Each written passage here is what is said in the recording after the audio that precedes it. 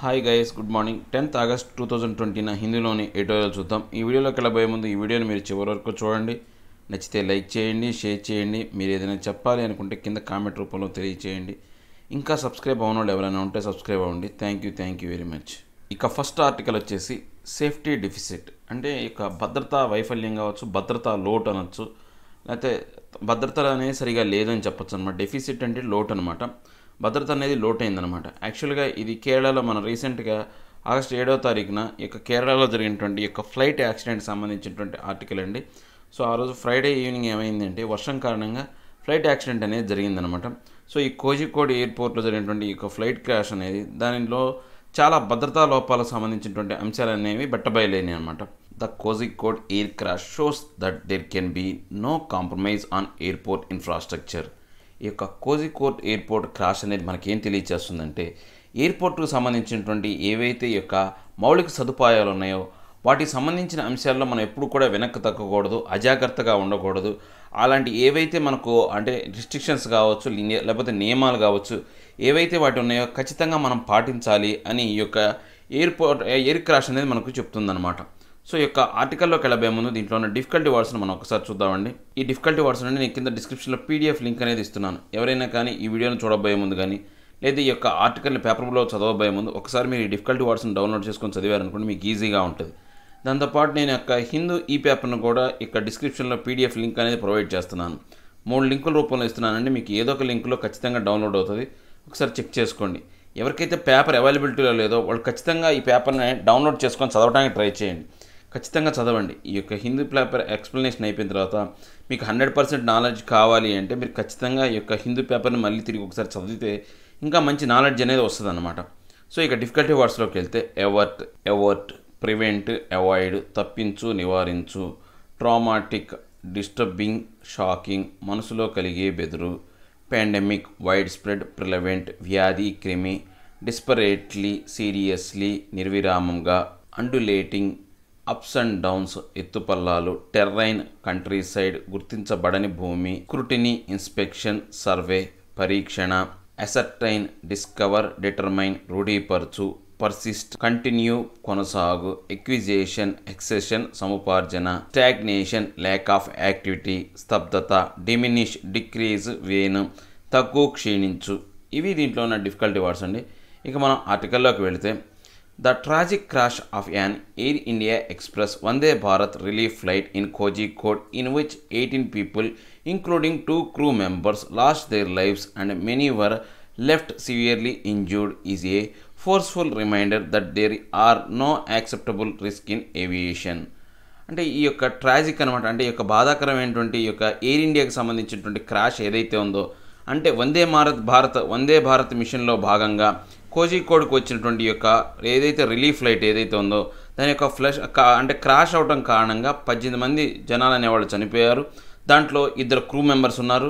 So వీళ్ళందరూ కూడా ప్రాణాలు కోల్పోవటమే కాకుండా చాలామందికి అంటే తీవ్రమైనటువంటి గాయాలు తగిలినాయి. ఇలాంటి అన్ని అంశాలు అనేవి మనం గనక చూస్తే గనక ఇలాంటి ఎప్పుడు కూడా అంటే ఈ యొక్క ఏవియేషన్ రంగంలో ఈ యొక్క విమానయాన రంగంలో ఇలాంటి యొక్క ప్రమాదాలు అనేవి అనే అంటే నో యాక్సెప్టబుల్ అనమాట. ఎప్పుడు కూడా ఇలాంటి వాటిని ఒప్పుకో ఒప్పుకోతగమని ఈ యొక్క ప్రమాదాలు అనమాట although even bigger disaster was averted by the absence of fire in the aircraft the crash snuffed out the lives of many returning home from Dubai after a long traumatic separation from loved ones in the pandemic అంటే ఇప్పుడు ఈ యొక్క ఏదైతే ఈ యొక్క విమాన ప్రమాదం ఏదైతే ఉందో ఈ యొక్క అది ఏంటంటే ఫైర్ యాక్సిడెంట్ అవ్వకుండా అంటే ఈ యొక్క ఫ్లైట్ అనేది క్రాష్ అవ్వగానే అది మా సాధారణంగా ఏంటంటే ఈ యొక్క మంటలు అనేవి చెలరేగుతాయి అనమాట అలాంటి చెలరేయకుండా తప్పించుకుంది. ఎవరిటే అంటే తప్పించు నివారించు అంటే తప్పించుకున్నప్పటికీ కూడా ఈ యొక్క ఫ్లైట్ యాక్సిడెంట్ అనేది చాలామంది ప్రాణాలని అంటే గాల్లో కలిపేసింది అనమాట చాలామంది ప్రాణాలు పోగొట్టే విధంగా చేసింది. వీళ్ళందరూ కూడా ఎవరు అంటే చాలా కాలంగా వాళ్ళ యొక్క ఇష్టమైనటువంటి ఎవరైతే ఆ యొక్క కుటుంబ సభ్యులకి దూరంగా ఉంటూ దుబాయ్లో ఉంటున్నటువంటి వాళ్ళు ఎవరైతే ఉన్నారో ఈ పెండమిక్ కారణంగా ఏంటంటే చాలా దూరంగా ఉన్నారన్నమాట. ఈ యొక్క ట్రామాటిక్ అంటే ఏంటి అంటే పూర్తిగా యొక్క బెదురుగా అంటే బాధాపరమైనటువంటి బాధాతప్త హృదయం అంటారు చూసారా? అంటే మా మనసులో బాధ బెదురు ఉండేటువంటి అలా ఉంటూ వాళ్ళు చాలా కాలంగా దుబాయ్లో ఉంటున్న వాళ్ళు వాళ్ళే ఇప్పుడు చనిపోయారు అనమాట ఈ పెండమిక్ కారణంగా దూరంగా ఉంటున్న వాళ్ళందరూ కూడా ఈ యొక్క యాక్సిడెంట్లో కొంతమంది చనిపోయారు కొంతమంది తీవ్రమైనటువంటి గాయాలైనాయి అనమాట many Indians could not quickly return home from countries where they were studying or travelling traveling though they desperately sought flights back home since March అంటే ఇప్పుడు ఏంటి? చాలామంది ఎవరైతే విదేశాల్లో పనులు చేస్తున్న వాళ్ళు కావచ్చు చదువుతున్న వాళ్ళు కావచ్చు తర్వాత ఈ యొక్క ట్రావెల్ చేస్తున్న వాళ్ళందరూ కూడా వాళ్ళు నిర్విరామంగా ఎప్పుడైతే ఈ యొక్క మార్చిలో ఎప్పుడైతే ఈ యొక్క కోవిడ్ నైన్టీన్ సంబంధించినటువంటి ఈ యొక్క మనం ఏదైతే లాక్డౌన్కి వెళ్ళిపోయామో అప్పటి నుంచి కూడా వాళ్ళు నిర్విరామంగా అక్కడి నుంచి రావాలని ట్రై చేస్తూనే ఉన్నారనమాట for those who took that a long awaited trip on August seventh it ended in disaster అంటే మార్చి నుంచి ఎదురు చూస్తున్న వాళ్ళకు అంటే ఎంతో కాలంగా వేచి చూస్తున్నటువంటి ఆ ప్రయాణం అనేది మార్చి ఆగస్ట్ ఏడో తారీఖున అంటే మార్చి నుంచి ఎదురు చూస్తుంటే ఆగస్ట్ ఏడవ తారీఖున వాళ్ళ యొక్క ప్రయాణం అనేది మొదలైంది. అది కూడా ఎలా మొదలై అది మొదలై ఎలా ముగించింది అంటే ఒక వినాశనకరంగా ఎండెడ్ విత్ డిజాస్టర్ అనమాట ఎండెడ్ ఇన్ డిజాస్టర్ అంటే ఒక వినాశనకరంగా ముగిసిందనమాట ట్రిప్ అనేది. There are clear pointers to dangerous nature of flight operation at Kozhikode airport in the midst of a strong monsoon even with the availability of instrument landing system for the table top runway carved into undulating terrain అంటే ఇప్పుడు ఈ యొక్క ఏదైతే ఈ Kozhikode airport operations అనేవి చాలా ప్రమాదకరమైందనమాట ఎందుకంటే అక్కడ రన్వే ఎలాంటిదంటే టేబుల్ టాప్ రన్వే ఆల్రెడీ మీరు కనుక నిన్న టోటల్ న్యూస్ అనాలిసిస్లో కనుక చూస్తే ఈ యొక్క టేబుల్ టాప్ రన్వే గురించి మనం ఇన్ డీటెయిల్గా చెప్పామన్నమాట అంటే ఇది కొంత ఎత్తులో ఉంటుంది. నార్మల్గా ఈ యొక్క కొండల మీద నిర్మిస్తారు కాబట్టి ఇది నార్మల్గా ఉన్నటువంటి ఈ యొక్క భూ ఉపరితలం కన్నా కొంత ఎత్తులో ఉంటుందన్నమాట. దీని ఎడ్జెస్ అన్నీ కూడా వాలుగా ఉంటాయి. లోయలు చుట్టూ లోయ ఉన్నట్టు ఉంటుందన్నమాట. సో అలాంటి టేబుల్ టాప్ రన్వే అనేది అది ఎప్పుడు కూడా ప్రమాదకరమైందనమాట ఎలాంటి సమయంలో ముఖ్యంగా మాన్సూన్ సమయంలో మనం ఆల్రెడీ రాత్రి ఆ యొక్క అంటే నిన్న ఎక్స్ప్లెనేషన్ మనం చెప్పుకున్నాం అనమాట ఆ మాన్సూన్ సమయంలో కావచ్చు లేకపోతే బాగా పూర్తిగా చీకటి పడినప్పుడు ఆప్టికల్ ఇల్యూజన్ వస్తుందని చెప్పేసి దాంట్లో ఇన్ డీటెయిల్గా చెప్పాం. ఒకసారి ఎవరైనా చూడనోళ్ళు ఉంటే ఒకసారి చెక్ చేయండి ఆ వీడియో. అప్పుడు అది చూస్తే ఇంక ఈ టేబుల్ టాప్ రన్వే గురించి మీకు ఈజీగా అర్థమవుతుంది అనమాట సో ఈ యొక్క టేబుల్ టాప్ రన్వే అనేది చాలా ప్రమాదకరమైందనమాట ఈ యొక్క మాన్సూన్ టైంలో దీన్ని ఆపరేట్ చేయడం అనేది. సో ఇదేంటంటే ఆ యొక్క టేబుల్ టాప్ రన్వేకి మనకు చివరి కనుక మనం చూస్తే ఎత్తుపల్లాలతో ఒక ఎండింగ్ అనేది ఆ రన్వే ఎండింగ్ అనేది చూస్తే కనుక ఎత్తుపల్లాలతో అంటే ఒక విడిచివేయబడినటువంటి ఒక లోయ ప్రాంతం అనేది ఉంటుందన్నమాట. ఒక అంటే గుర్తించబడిన భూమి అనేది ఉంటుందన్నమాట. There are problems with visibility a far shorter safety area at the runway end than optimal and options of arrester system that could stop an overshooting plane from falling off the edge as it happened with this aircraft అంటే అక్కడ ఏంటంటే ఆ యొక్క table top runway కాబట్టి దాని యొక్క visibility అనే దాంట్లో కొంచెం వరకు ప్రాబ్లం ఉందన్నమాట. దాంతోపాటు ఇంకా సేఫ్టీ ప్రికాషన్స్ అయినటువంటి ఈ యొక్క రన్వే ఎండ్ తర్వాత అంటే ఇలాంటి టేబుల్ టాప్ రన్వేకి ఎలా ఉంటుందండి? ఎండ్ తర్వాత కొంతవరకు ఆప్టిమల్గా ఉండేటువంటి ఇక అంటే ఆ రన్వే అయిపోయిన తర్వాత కూడా కొంత కంటిన్యూషన్ అనేది ఉంటుందన్నమాట. ఆల్రెడీ మనం రాత్రి చెప్పాం. ఒక ఫిఫ్టీ మీటర్స్ అనే ఒక నైంటీ మీటర్స్ అనేది కంటిన్యూషన్ ఉండాలి? అది నైంటీ మీటర్స్ అనేది మినిమంగా ఉండాలి తర్వాత టూ ఫార్టీ మీటర్స్ అనేది మస్ట్గా ఉండాలని చెప్పి అంటే ఇంకా బెస్ట్గా ఉండాలి అంటే ఇంకో టూ ఫార్టీ మీటర్స్ అనే రన్వే కనుక ఉంటే ఇలాంటి ప్రమాదాలను మనం అధిగమించవచ్చని రాత్రి న్యూస్ అనాలిసిస్లో చెప్పామన్నమాట. సో దానికి సంబంధించినటువంటి ఆ రన్వే కానీ అలాంటివి కానీ తర్వాత ఆ రన్వేని దాటిన తర్వాత నెక్స్ట్ వచ్చి ఆ నైంటీ మీటర్స్ కావచ్చు టూ ఫార్టీ మీటర్స్ కావచ్చు సంబంధించినటువంటి ఈ యొక్క రన్వేకి సంబంధించినటువంటి రోడ్ అంతా కూడా అది ఎలా ఉండాలంటే ఏదైనా ఫ్లైట్ వస్తే అరెస్ట్ చేసి అంటే ముందుకు పోయేటప్పుడు ముందుకు పోనీయకుండా ఆ ఫ్లైట్కి ప్రతినంద అంటే అవరోధాలను కలిగించి ఆ యొక్క అరెస్ట్ చేయాలన్నమాట. ఆ ఫ్లైట్ పోనీయకుండా కట్టు గట్టిగా పట్టు ఉంచుకోవాలన్నమాట. అలాంటి ఓవర్షూట్ అయ్యే ఫ్లైట్లు ఏవైనా ఉన్నాయి? ఆ ఎడ్జ్లోకి రాగానే వాటి యొక్క స్పీడ్ అనేది తగ్గి పూర్తిగా ఆగిపోయే విధంగా కొన్ని టెక్నాలజీ అనేది ఉంది అనేది ఉందన్నమాట. అలాంటి టెక్నాలజీకి సంబంధించినటువంటి ఏవి కూడా ఈ యొక్క ఎయిర్పోర్ట్కు సంబంధించినటువంటి రన్వేలో లేవు. Which of these factors along with the monsoon impact led to the disaster will became clear with a professional investigation అంటే ఇప్పుడు ఎప్పుడైతే ఇలాంటి ఫ్యాక్టర్స్ అన్నీ కలుపుకొని యొక్క వర్ష పరిస్థితులు కావచ్చు లేకపోతే ఆ ఎయిర్పోర్ట్ సేఫ్టీకి సంబంధించినటువంటి రన్వే ఆపరేషన్ సంబంధించినటువంటి యొక్క ఆప్టికల్ విల్యూషన్ కావచ్చు లేకపోతే రన్వే ఎడ్జికి సంబంధించినటువంటి ఏ అంశాలు లేకపోవడం వల్ల ఇప్పుడు ఈ యొక్క మన ప్రొఫెషనల్ ఇన్వెస్టిగేషన్ ద్వారా ఇలాంటి అంటే భయంకరమైనటువంటి యొక్క విపత్తు అనేది సంభవించిందని చెప్పొచ్చు అనమాట the civil aviation ministry should make a full disclosure on the technical evidence gathered, the integrity of which will be scrutinized by safety organizations worldwide. అంటే ఇప్పుడు ఈ యొక్క సివిల్ ఏవియేషన్ మినిస్టర్ ఎవరైతే ఉన్నారో ఆయన ఈ యొక్క అంశానికి సంబంధించినటువంటి యొక్క టెక్నికల్ ఎవిడెన్స్ అనేవి ఏదైతే గ్యాదర్ చేశారో అవన్నీ కూడా ఫుల్గా డిస్క్లోజ్ చేయాలి అందరికీ తెలియపరచాలన్నమాట సో దీనికి సంబంధించినటువంటి యొక్క పరీక్షణ అంటే ఈ యొక్క తనిఖీ అనేది స్క్రూటనైజ్ అనేది ఎవరు చేస్తారంటే ఈ యొక్క సేఫ్టీ ఆర్గనైజేషన్ వరల్డ్ వైడ్గా ఉన్న వాళ్ళందరూ కూడా దీంట్లో ఎంతవరకు యొక్క యొక్క సేఫ్టీ మెజర్స్ అనేవి ఉన్నాయనేది వాళ్ళ యొక్క తనిఖీ అనేది వాళ్ళు చేస్తారనమాట స్క్రూటినీ ఏంటంటే తనిఖీ తనిఖీ అవ్వచ్చు అదే పరి పరీక్షణ అనేది అవ్వచ్చు పరీక్ష చేయటం అనేది అవ్వచ్చు అనమాట apparently anxious to project and image of normalcy the ministry allowed the airport to restart flights in a day while the accident cause was yet to be ascertained అంటే ఇప్పుడు మనకు మనం చూడటానికి ఎలా ఉంది అంటే ఆ యొక్క ప్రా ఏదైతే యాక్సిడెంట్ జరిగి జరిగిన దానికి సంబంధించి వీళ్ళకి ఎటువంటి బాధ కానీ యాంగ్జైటీ కానీ ఏమీ కనపడలేదనమాట ఈ యొక్క ఏది ఈ యొక్క యాక్సిడెంట్ జరిగిన మరుసటి రోజే నార్మల్గా మళ్ళీ ఫ్లైట్ ఆపరేషన్స్ అనేవి జరుగుతున్నాయి అనమాట ఇంతకుముందు ఎలాగైతే ఫ్లైట్స్ అనేవి తిరిగినాయో అలాంటి వాటిని కొనసాగించడం జరుగుతుంది అనమాట ఏది ఈ యొక్క యాక్సిడెంట్కి సంబంధించినటువంటి ఏది ఏ కారణాలు ఏంటి అనేది పూర్తిగా అసెప్ట్ అనమాట అంటే ధృవీకరించకుండా రూఢీపరచకుండానే మళ్ళీ ఫ్లైట్ ఆపరేషన్స్ అనేవి చేస్తున్నారనమాట if rainy conditions existed during the landing as civil aviation minister Hardeep Singh Puri has said these may persist during the rest of the monsoon అంటే ఇప్పుడు ఈ యొక్క సివిల్ ఏవియేషన్ మినిస్టర్ అయినటువంటి హర్దీప్ సింగ్ పూరి ఏం చెప్పాడు అంటే అంటే ఇంతకుముందు ఏం చెప్పాడు? ఈ యొక్క రెయినీ కండిషన్స్ టైంలో యొక్క అంటే ల్యాండింగ్ సమయంలో ఇలాంటి రైనీ కండిషన్స్ అయితే వర్ష వర్షాభావ పరిస్థితులు ఉండటం వల్ల ఇలాంటి ప్రమాదం జరిగిందని చెప్పాడు.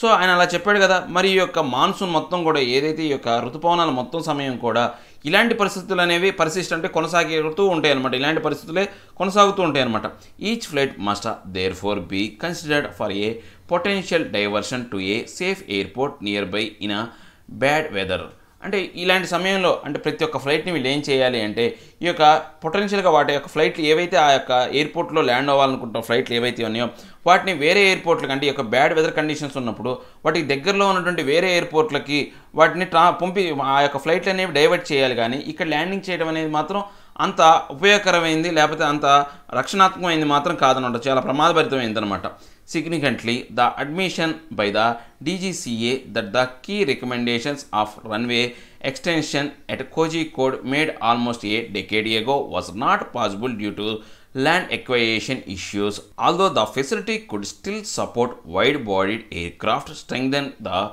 view that concern may have been cut on safety. అంటే ఈ యొక్క ఏదైతే ఈ యొక్క కోజికోడకు సంబంధించినటువంటి ఎయిర్పోర్ట్కి సంబంధించినటువంటి రన్వే గురించి ఈ యొక్క డీజీసీఏ అనేది అంటే డైరెక్టర్ జనరల్ ఆఫ్ ఏవియేషన్ అంటే సివిల్ ఏవియేషన్ అనే దానికి సంబంధించినటువంటి డిపార్ట్మెంట్ అనేది ఆల్రెడీ ఈ యొక్క కోజికోడ్ రన్వేకి సంబంధించినటువంటి ఈ యొక్క ప్రమాదాన్ని గురించి చెప్తూనే వస్తుందన్నమాట. అది ఒక డికెట్ పది సంవత్సరాల క్రితం ఇలాంటి ఈ యొక్క టేబుల్ టాప్ ఎయిర్పోర్ట్ అయినటువంటి ఈ యొక్క మంగ మంగళూరుకు సంబంధించిన ఎయిర్పోర్ట్లో ఎప్పుడైతే ప్రమాదం జరిగిందో ఆ ప్రమాదం తర్వాత అలాంటి ఎయిర్పోర్ట్ అన్నింటినీ గుర్తించి కోజికోడ్లో కూడా ఇలాంటి ప్రమాదం ఉందని చెప్పేసి ఈ యొక్క ఈ రన్వేకి సంబంధించినటువంటి ఎక్స్టెన్షన్ అనేది కావాలని చెప్పేసి అప్పుడే చెప్పారు. కానీ ఆ ఎక్స్టెన్షన్ సంబంధించినటువంటి ల్యాండ్ ఎక్వైజేషన్ అంటే ఆ ల్యాండ్ని సేకరించే దాంట్లో ప్రాబ్లమ్స్ ఉండడం వల్ల వాళ్ళు ఎక్స్టెన్షన్ చేయకుండానే ఆ ఎయిర్పోర్ట్ అనేదాన్ని నడిపిస్తున్నారనమాట సో ఇలాంటి అంశాలు అనేవి అంటే వీటిని దృష్టిలో పెట్టుకుంటే కనుక పెద్ద పెద్ద ఫ్లైట్లు అనేవి వచ్చి అక్కడ ల్యాండ్ అయ్యే అవకాశం ఉన్నప్పటికీ కూడా వీటికి సేఫ్టీకి సంబంధించినటువంటి అంత ప్రాధాన్యత ఇచ్చే అంశాలు ఏమి లేవన్నమాట. అంటే పెద్ద పెద్ద ఫ్లైట్లు అంటే హెవీ ఫ్లైట్లు అనేవి వచ్చి ల్యాండ్ అయ్యే అవకాశం ఉన్నప్పటికీ వాటి రక్షణకు సంబంధించినటువంటి ఎటువంటి చర్యలు కూడా వీళ్ళు తీసుకోవట్లేదు అనమాట the instance of an Air India Express plane suffering a tail strike in the same airport last year should have led to a full assessment following up on the recommendations made after the 2010 crash in Mangalore. అంటే ఇప్పుడు ఈ యొక్క ఎయిర్పోర్ట్లోనే పోయిన సంవత్సరం మనం ఏమైనా చూసుకుంటే ఈ యొక్క ఎయిర్ ఇండియా సంబంధించినటువంటి ఒక టెయిల్ అనేది అంటే ఒక దాని తోక భాగం అనేది ఎయిర్కి అంటే ఆ యొక్క విమానానికి సంబంధించినటువంటి తోక భాగం అనేది దెబ్బతిన్నదనమాట సో ఆ దెబ్బతినడం కారణంగా రెండు వేల పదిలో ఏదైతే ఈ యొక్క క్రాష్కి సంబంధించినటువంటి మంగళూరు క్రాష్కి సంబంధించినటువంటి రికమెండేషన్స్ అనేవి అప్పుడు మళ్ళీ దానికి సంబంధించిన ఫాలో అప్ అనేది జరిగిందనమాట అంటే ఈ యొక్క రెండు వేల పదిలో ఏవైతే వాళ్ళు రికమెండేషన్స్ చేశారో దానికి అనుగుణంగా కొన్ని చర్యలు అయితే తీసుకున్నారు. Since the visibility cause of Friday's crash was a overshoot the runway continue to pose a threat అంటే ఆ విజిబిలిటీ ఆల్రెడీ మనం చెప్పామన్నమాట. ఈ యొక్క టేబుల్ టాప్ ఏవైతే రన్వేస్ ఉంటాయో ఆ రన్వేస్ ఉన్నప్పుడు మనం కనుక చూస్తే పైనుంచి ఒక పైలట్కి ఎలా ఉంటుందంటే కొంచెం అతన్ని ఫూల్ చేసే విధంగా చేస్తారనమాట అంటే మనం దిగాల్సిన దూరం అనేది చాలా దూరంలో ఉన్నట్టే ఉంటుంది. కానీ ఆల్రెడీ మనం దగ్గరికి వచ్చేసి ఉంటాం అనమాట చూడటానికి మాత్రం చాలా దూరంలో ఉన్నట్టు కనపడుతుంది అనమాట అలాంటి విధానం ద్వారా ఏమైంది అంటే ఇది ఓవర్ షూట్ అయింది ఆ యొక్క ఎయిర్ ఎయిర్ క్రాఫ్ట్ అనేది ఓవర్ షూట్ అయ్యి అంటే తను ప్రయాణించాల్సిన మార్గాన్ని దాటి ముందుకు వెళ్ళిపోయింది అనమాట వెళ్ళిపోయి లోయలో పడిపోయింది. అనమాట ఓవర్షూట్ అయ్యి ఇలాంటి ప్రమాదానికి దారి తీసిందనమాట bad meteorological conditions such as rain and wind and runway surface problems such as stagnation of water or rubber deposits that continue to skidding endanger passengers and crew. అంటే ఇప్పుడు ఏమైంది? అక్కడ దాంతోపాటు యొక్క మెట్రలాజికల్ అక్కడ వాతావరణ పరిస్థితులు కూడా బాగలేవు. అక్కడ పూర్తిగా ఎక్కువగా వర్షపాతం పడటం పెద్ద పెద్ద గాలులు రావటం దాంతోపాటు ఈ యొక్క రన్వే అంతా కూడా ఏంటంటే ప్రాబ్లమ్స్తో ఉందన్నమాట స్టాగ్నేషన్ వాటర్ అనమాట అంటే నీళ్ళు నిలిచిపోవటం దాంతోపాటు రబ్బరు యొక్క ఏవైతే ఉన్నాయో అవశేషాలు అనేవి ఉండటం అవన్నీ కూడా చాలా వరకు ఏంటంటే ఈ యొక్క ఫ్లైట్ అనేది స్కిడ్ అవ్వడానికి అంటే అది జారిపోవడానికి కారణాలైనవి అనమాట దీని కారణంగా ఏంటంటే ప్యాసింజర్స్ క్రూస్ అనేవాళ్ళు ప్రమాదంలో పడేసింది వాళ్ళ మరణాలకు దాడి తీసిందనమాట every air safety incidents diminishes India's reputation. అంటే ఇప్పుడు ఈ యొక్క ఎయిర్ సేఫ్టీకి అంటే ఈ యొక్క విమానయాన రంగానికి సంబంధించినటువంటి భద్రత ఏదైతే ఉందో అలాంటి చర్యలని అంటే ఈ యొక్క ఇన్సిడెంట్స్ అనేవి ఇలాంటి ప్రమాదాలన్నీ కూడా మన భారతదేశం ఖ్యాతిని రోజు రోజుకి క్షీణింపజేస్తున్నాయి అనమాట డిమినిషన్ అంటే ఏంటంటే క్షీణింపజేస్తున్నాయి అనమాట రోజు రోజుకి. The Kozhikode crash should lead to a fresh review of all risky airports అంటే ఇప్పుడు ఈ యొక్క కోజికోడ్ క్రాష్ అనేది మనకి ఏం చూ కనిపిస్తుందంటే కొత్తగా రివ్యూ అనేది కొత్తగా పునరాలోచించాల్సిన పరిస్థితి ఏర్పరిచింది దీనికి సంబంధించి? ఏవైతే మన భారతదేశంలో ఉన్నటువంటి రిస్కీ ఎయిర్పోర్ట్స్ సంబంధించినటువంటి అంశాలు అనేవి తిరిగి పునర్పరిశీలించాలో ఆలోచించాలనే దాన్ని రేకెత్తించిందనమాట ఈ కోజికోడ్ క్రాష్ అనేది. Transparent remedial actions must be taken immediately అంటే పారదర్శకమైనటువంటి ఈ యొక్క నష్ట నివారణ చర్యలు అంటే ఈ యొక్క ఇలాంటి ప్రమాదాలు సంభవించకుండా ఈ యొక్క ఎయిర్పోర్ట్లు రక్షించడం కోసం సంబంధించినటువంటి పారదర్శకమైనటువంటి చర్యలు అనేవి తీసుకోవాలి. ఎంత తొందరగా కుదిరితే అంత తొందరగా చర్యలు తీసుకోవాలి అని చెప్తున్నారు అనమాట యాక్చువల్గా ఏం లేదండి. ఈ యొక్క కోజికోడ్లో మనం మొన్న ఫ్రైడే అంటే ఆగస్టు ఏడో తారీఖున ఈ కోజికోడ్లో ఎయిర్ ఇండియాకి సంబంధించినటువంటి ఫ్లైట్ అనేది దుబాయ్ నుంచి ఈ యొక్క కోజికోడ్ ఎయిర్పోర్ట్కి వస్తుంది అనమాట కేరళకు సంబంధించిన ఈ కోజికోడ్ ఎయిర్పోర్ట్లో.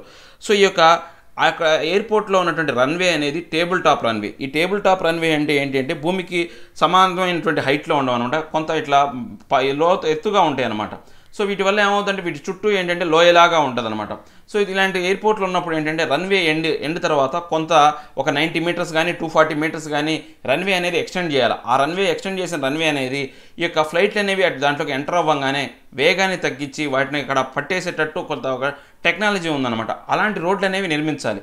ఇలాంటి రోడ్ అనేది అక్కడ లేదు. ఎందుకని అక్కడ ల్యాండ్ అక్వైజేషన్ కారణంగా యాక్చువల్గా ఈ యొక్క టేబుల్ టాప్ రన్వేస్కి సంబంధించినటువంటి ఈ యొక్క సమస్యలు అనేవి రెండు వేల పదిలో మంగళూరుకు సంబంధించినటువంటి ఎయిర్పోర్ట్లో జరిగినటువంటి ఫ్లైట్ యాక్సిడెంట్ కారణంగా అందరికీ బెట్టబయలేదు అనమాట దాంట్లో ఉన్న ప్రమాదాలు అనేవి. సో దానికి సంబంధించి వీళ్ళు కొన్ని రికమెండేషన్స్ చేశారు. ఒక ninety metres to forty metres extend చేయాలి. ఆ రోడ్ అనేది ఇలా ఉండాలి. ఇలాంటి టెక్నాలజీ వాడాలి అని. కానీ దానికి సంబంధించిన ల్యాండ్ ఎక్వేషన్ ప్రాబ్లం వల్ల ఆ ల్యాండ్ అనేది దాన్ని తీసుకోలేకపోయారు అనమాట సో ఇప్పుడు ఏమైంది? ఈ యొక్క అంటే ఈ కోవిడ్ నైన్టీన్ కారణంగా మార్చి నుంచి ఈ యొక్క ప్రయాణికులు అనేవాళ్ళు వాళ్ళ ఇళ్ళకి రావడానికి చాలా ఆతృతగా ఉన్నారు.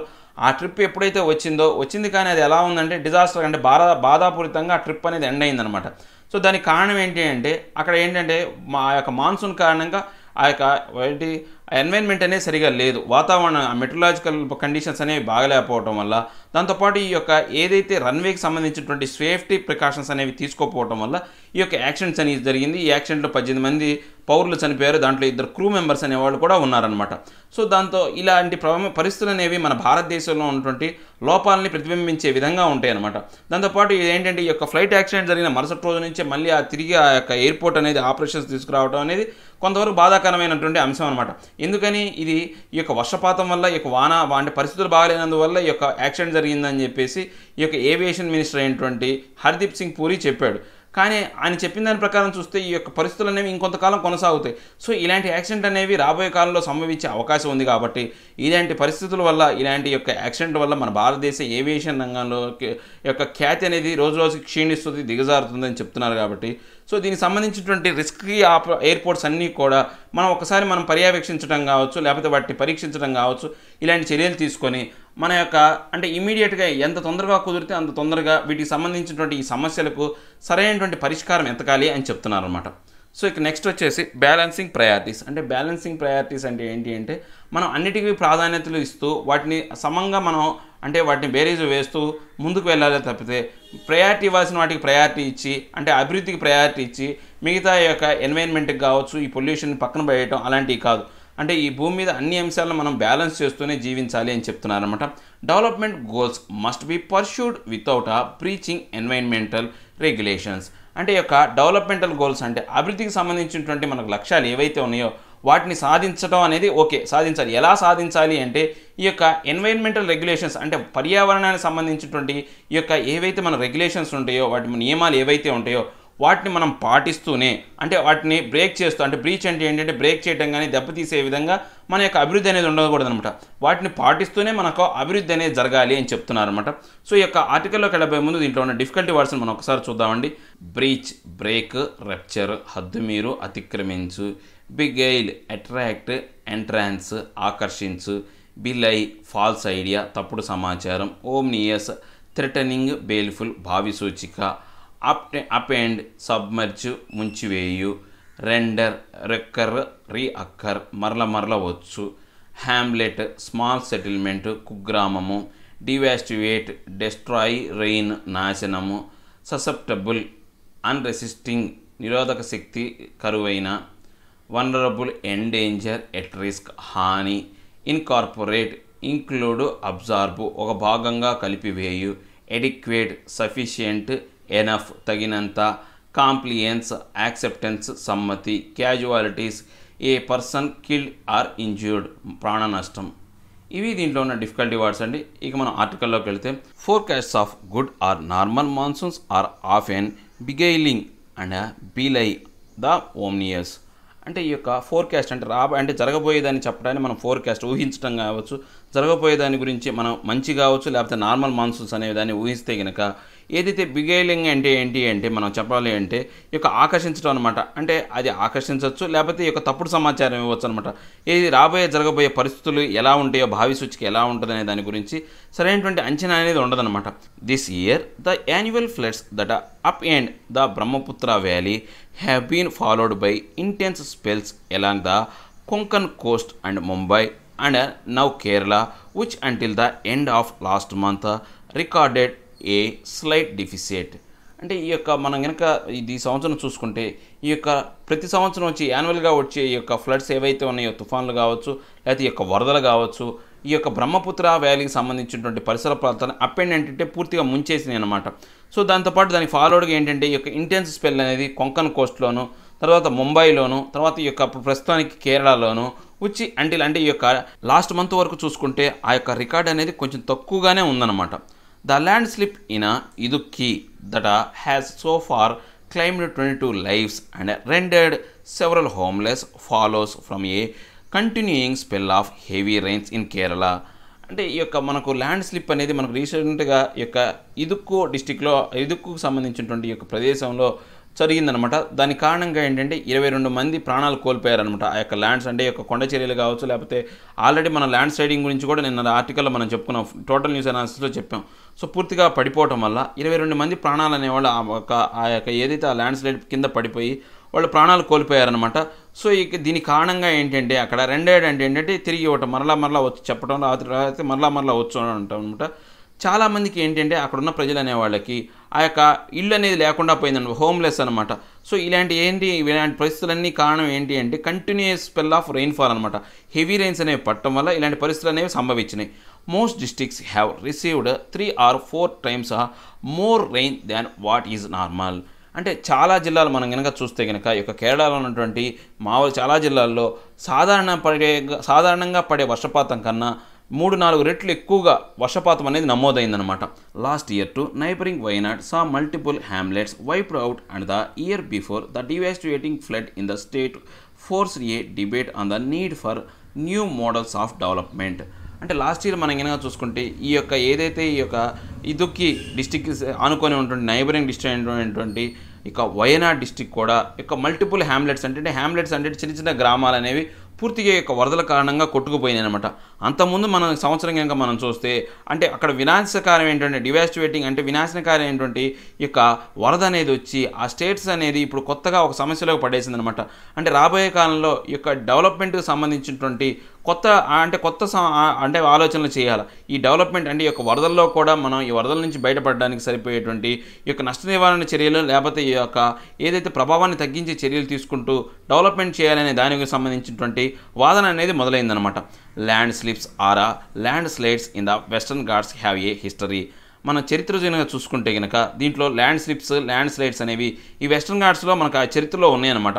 Following the two thousand eighteen floods data from the Geological Survey of India showed that Kerala had experienced sixty seven major landslide events and several minor ones from nineteen sixty one to two thousand thirteen అంటే ఇప్పుడు రెండు వేల పద్దెనిమిదిలో జరిగినటువంటి ఈ యొక్క వరదల కారణంగా ఈ యొక్క జియోలాజికల్ సర్వే ప్రకారం మన భారతదేశం చేసినటువంటి సర్వేలో కేరళ అనేది అరవై ఏడు మేజర్ అంటే పెద్ద పెద్ద యొక్క ల్యాండ్ స్లైడ్ ఈవెంట్స్ అనేవి కేరళలో సంభవించినాయి అనమాట దాంతోపాటు మనకు నైన్టీన్ సిక్స్టీ వన్ నుంచి రెండు వేల పదమూడు వరకు అంటే పంతొమ్మిది వందల అరవై ఒకటి నుంచి రెండు వేల పదమూడు వరకు మధ్య కాలంలో మనం చూస్తే కనుక చాలా చిన్న చిన్న మైనర్ యొక్క ల్యాండ్ స్లిప్స్ అనేవి జరుగుతూ వస్తూనే ఉన్నాయి అనమాట as part of a National Landslide Susceptibility Mapping NLSM programme the agency mapped several states in the Western Ghats north eastern states Jammu and Kashmir Uttarakhand to access how vulnerable their districts were అంటే ఈ యొక్క మనకు National land side slide Susceptibility అంటే ఏంటంటే ఆ యొక్క ప్రమాదాన్ని నిరోధించలేని స్థితి అనమాట అంటే నిరోధక శక్తి కరువైన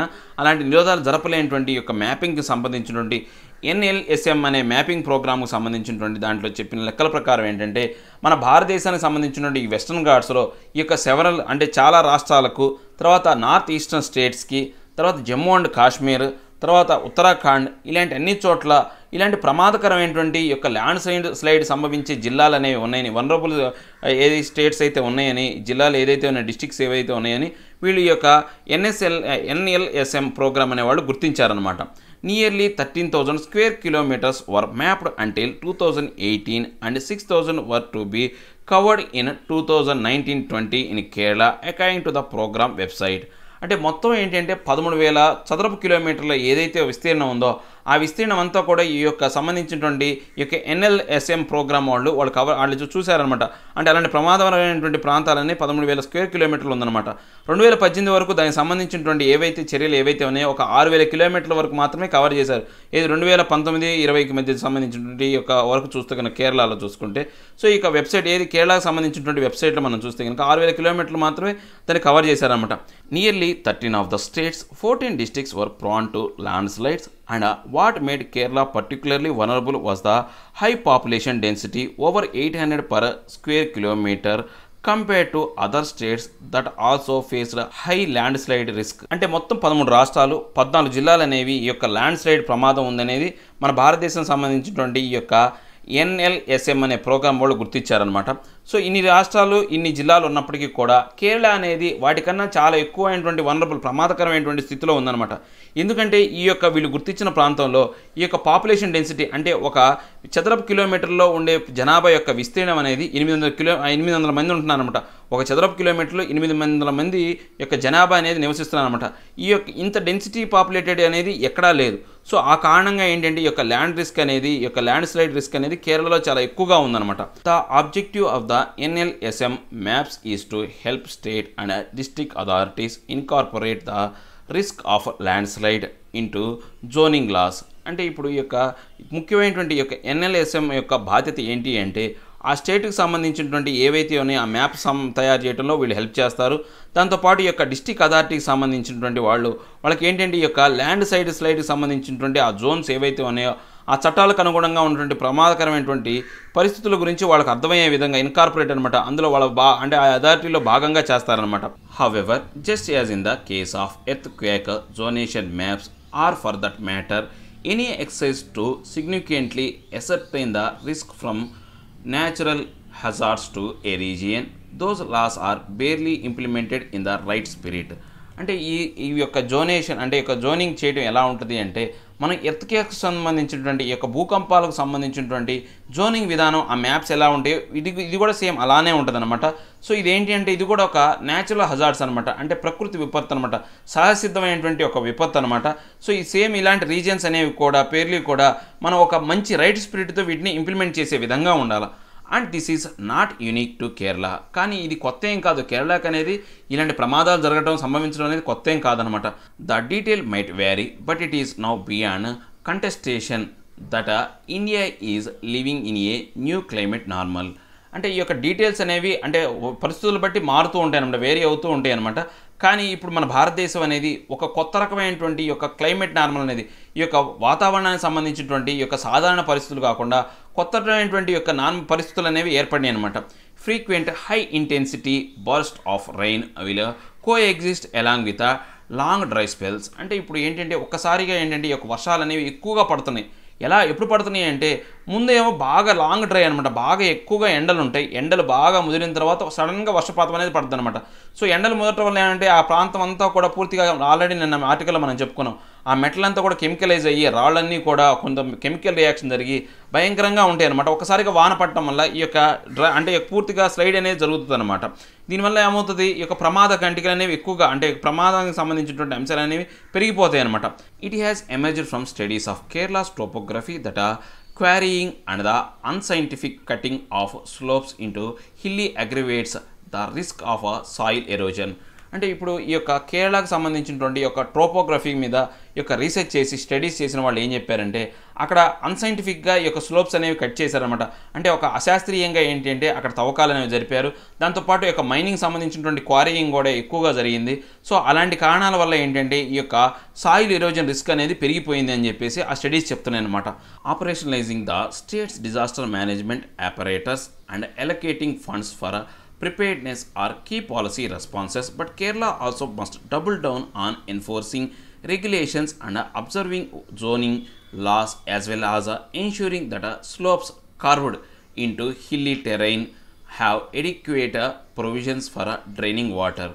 ఇప్పుడు ఈ యొక్క ఆపరేషన్ సంబంధించి పూర్తిగా ఈ యొక్క ఏవైతే ఆపరేషన్స్ ఉన్నాయో ఈ యొక్క నష్ట నివారణ చర్యలకు సంబంధించినటువంటి ఏవైతే పరికరాలు అనేవి సరిగా సమకూర్చి దాంతోపాటు దీనికి సంబంధించినటువంటి ఏదైతే వనరులు ఏవైతే ఉన్నాయో ఆర్థిక వనరులు అనేవి సముపార్జన చేయటం ఈ యొక్క కీ రెస్పాన్సెస్ అనమాట ఈ యొక్క పాలసీకి సంబంధించినటువంటి ప్రధానమైనటువంటి ఈ యొక్క ప్రతిస్పందన అనమాట ఈ యొక్క ఇలాంటి పరిస్థితులకు సంబంధించి. A lack of compliance with such principles is often a key reason why natural hazards end up causing a significant number of avoidable casualties అంటే ఇలాంటి ఇలాంటి ఏవైతే ప్రభావాలు ఉన్నాయో అంటే ఇలాంటి చట్టాలకు సంబంధించినటువంటి ఈ యొక్క కాంప్లియన్సెస్ సమ్మతిని కలిగించే అంశాలు అనేవి మనం పక్కన పెట్టడం వల్ల ఈ యొక్క సహజంగా జరిగే ఈ యొక్క ప్రమాదాలు ఏవైతే ఉన్నాయో అలాంటి ప్రమాదాలని మనం ఎక్కువ మంది అంటే చనిపోకుండా అలాంటి ప్రమాదాల కారణంగా ఎక్కువ మరణాలు అనేవి సంభవించకుండా చేసే పరిస్థితులు ఉన్నప్పటికీ కూడా అలాంటి అంశాలన్నిటిని మనం పక్కన పెట్టడం వల్ల ఎక్కువ మరణాలు అనేవి సంభవిస్తున్నాయి అన్నమాట there is a cost to pursuing development goals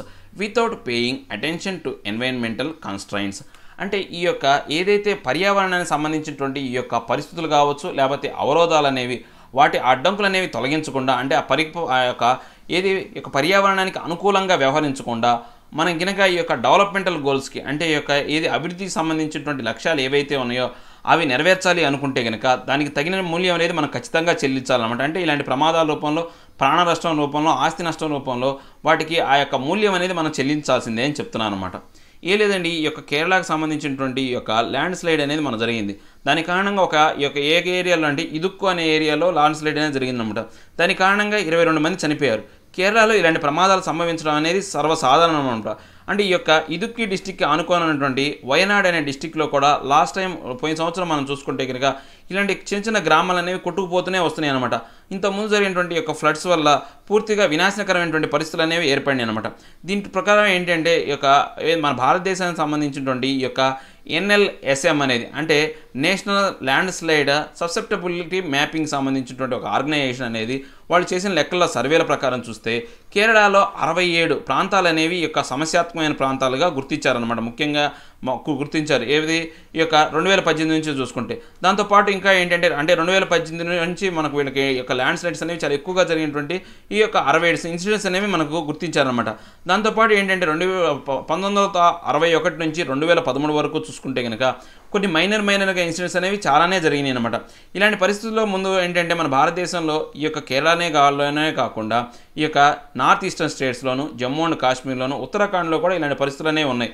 కానీ ఆ యొక్క జిల్లాల కన్నా ఈ యొక్క కేరళ జిల్లా అనేది ఎక్కువగా సమస్యాత్మకమైనటువంటి ప్రా ప్రాంతంగాను ఎక్కువ ప్రమాదకరమైనటువంటి పరిస్థితుల్లో ఉండడానికి కారణం ఏంటంటే ఇక్కడ చదరపు విస్తీర్ణంలో నివసించే యొక్క ప్రజ అంటే జన సాంద్రత మనం చూస్తే కనుక ఎనిమిది వందల మంది అంటే పా పీపుల్ డెన్సిటీ జన కనుక మనం చూస్తే ఒక చదరపు కిలోమీటర్లో ఎనిమిది వందల మందికి పైగా ప్రజలు అనేవాళ్ళు నివసిస్తున్నారు అనమాట దానివల్ల ఎక్కువ ప్రమాదం జరిగే అవకాశం ఉందన్నమాట. ఇప్పుడు ఈ యొక్క ఏదైతే కేరళ ప్రభుత్వం అనేది ఏదైతే ఉందో దీనికి సంబంధించినటువంటి ఇలాంటి ప్రమాదాలకు సంబంధించినటువంటి నష్ట నివారణ చర్యలకు సంబంధించినటువంటి పరికరాలు అనేవి సమకూర్చుకోవాలి. దానికి అనుసంధానంగా ఏంటి అంటే దానికి సంబంధించినటువంటి యొక్క ఆర్థిక వనరులను సమకూర్చుకోవాలి. దాంతోపాటు వీళ్ళు ఏం చేయాలి అంటే ఇలాంటి ప్రమాదాలు సంభవించే అవకాశం ఉన్నటువంటి ఏరియాలకు సంబంధించి సరైనటువంటి ఈ యొక్క చర్య జాగ్రత్త చర్యలు తీసుకోవాలి. అలా జాగ్రత్త చర్యలు తీసుకోకుండా మన అభివృద్ధి చర్యల వైపు అంటే మన యొక్క ఏదైతే గోల్స్ అనేవి మనం డెవలప్మెంటల్ గోల్స్ ఏవైతే ఉన్నాయో ఆ యొక్క లక్ష్యాల వైపు కనుక మనం వెళితే దానికి తగ్గ మూల్యం అనేది మనం చెల్లించుకోవాల్సిన బా వస్తుంది. అలాంటి అవకాశం అనేది వస్తుంది. అంటే దానికి నష్టానికి సంబ అంటే మన అభివృద్ధికి సంబంధించినటువంటి యొక్క మూల్యం అనేది మనం ఖచ్చితంగా చెల్లించుకోవాలి అని చెప్తున్నాను అనమాట సో ఇవండి ఈరోజు నా హిందూ టూ ఆర్టికల్ ఎక్స్ప్లెనేషన్. నా ఎక్స్ప్లెనేషన్ మీకు నచ్చినట్లయితే లైక్ చేయండి షేర్ చేయండి. మీరు ఏదైనా చెప్పాలనుకుంటే కింద కామెంట్ రూపంలో తెలియచేయండి. ఇంకా సబ్స్క్రైబ్ అవ్వని వాళ్ళు ఎవరైనా ఉంటే సబ్స్క్రైబ్ అవ్వండి. Thank you thank you very much.